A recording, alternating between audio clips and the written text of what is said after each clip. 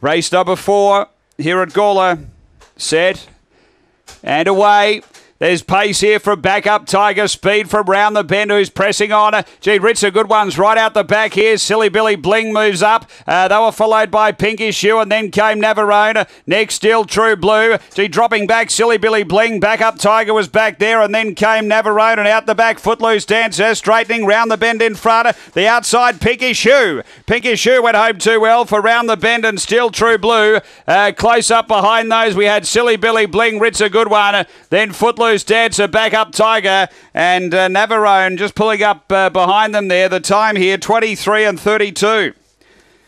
Wendy Madcott with the winner. Number six at six, four, five, and eight. Number six, Pinkish Hue. Wendy Madcott, the Roy Boys Syndicate, managed by R. Phillips. A Black Bitch, April 2013, Oaks Road, hockey fan.